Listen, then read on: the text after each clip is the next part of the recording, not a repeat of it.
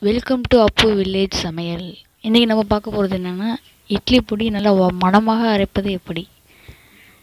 Channel subscribe பண்ணுங்கள் அப்படியே பக்கத்தில் இருக்க பெல் பட்டனும் கிளிக் பண்ணுங்கள் தேவையான பொருட்கள். மிளகாய். ஒரு பதினைந்து எடுத்துக்கோங்க. கடலை பருப்பு ஒரு நூறு கிராம். அதை வந்து நல்லா ரோஸ்ட் பண்ணணும். உளுத்த பருப்பு ஒரு நூறு கிராம். கடலை பருப்பு எவ்வளோ இருக்கோ அந்த அளவுக்கு. பெருங்காயத்தூள் கொஞ்சம். மல்லி.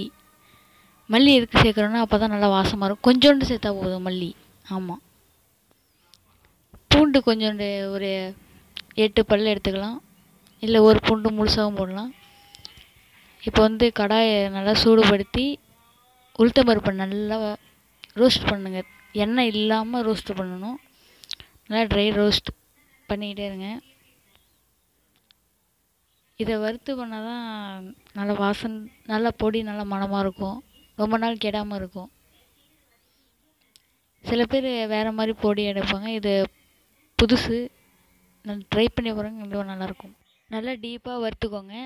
இது வந்து இந்த பொடியை பொடி இட்லி பொடி தோசை மசாலா தோசை எல்லாத்தையும் உபயோகப்படுத்தலாம். நல்ல டேஸ்ட்டாக இருக்கும். வறுத்துக்கிட்டே இருக்கும். நீங்கள் பார்த்துக்கிட்டே இருங்க என் சேனல் என்ன குறை இருந்தாலும் கீழே சொல்லுங்கள் இப்போ வறுத்தாச்சு. இது தனியாக நல்லா கொட்டி ஆற விடுவோம்.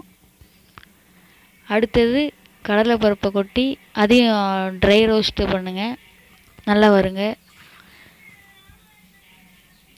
இதில் வந்து எண்ணெய் ஊற்றி வறுக்கிறது அப்படின்னா மிளகாய் மட்டும்தான். பாக்கி எல்லாம் எண்ணெய் எல்லாமே வறுக்கிறது தான் இதையும் ஒரு தச்சு ஆற வைக்கலாம்.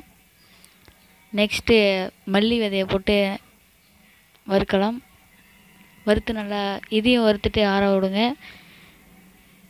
கொஞ்சம் கடாயில் எண்ணெயை ஊற்றி அதில் மிளகாயை போட்டு நல்லா ஃப்ரை பண்ணுங்க. நல்லா டீப் ஃப்ரை பண்ணிவிட்டு எல்லாத்தையும் ஆற விடுங்க. பூண்டெல்லாம் வறுக்க தேவையில்ல. பெருங்காயத்தூளையும் வறுக்க தேவையில்ல. பெருங்காயத்தூள் பூண்டு கருவேப்பிலை இதெல்லாம் தனியாகவே போட்டுடலாம். மிளகாய் வறுத்ததும் அதையும் வச்சு எல்லாத்தையும் ஆற விடுங்க.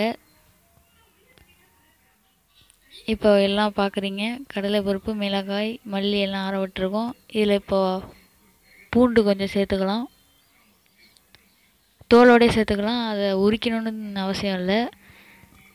அடுத்தது உப்பு சேர்த்து கொள்ளலாம். உங்களுக்கு எவ்வளோ உப்பு தேவையோ அந்த அளவுக்கு சேர்த்துக்கோங்க. மிளகாய் காரத்துக்கு தகுந்த மாதிரி சேர்த்துக்கோங்க. இப்போ இதை நல்லா கிளறி ஆற விடுங்க. அப்போ தான் சீக்கிரமாக நல்லா ஆறும். எல்லாத்தையும் சும்மா கிளறி விடுங்க. நல்லா ஆறுனதுக்கப்புறமா மிக்சியில் போட்டு அதில் பெருங்காயத்தூளை போடுங்க. உங்களுக்கு பெருங்காயத்தூள் நல்லா வாசம் இன்னும் நிறைய வேணால் போடுங்க. மல்லி வாசம் தான் நல்லா சூப்பராக இருக்கும். இதில் இப்போ கருவேப்பிள்ளையை கொஞ்சம் போட்டுக்கோங்க. போட்டு இப்போ நல்லா அரைச்சி எடுக்க உங்களுக்கு குறை குறைன்னு வேணால் எடுத்துக்கலாம். இல்லை எப்படி வேணாலும் நீங்கள் அரைச்சிக்கலாம். நாங்கள் நைஸாக தான் அரைச்சிருக்கிறோம். அரைச்சதும் அதை ஆ சூடாக இருக்கும். அதை ஒரு கிண்ணத்தில் வச்சு நல்லா ஆற விடுங்க.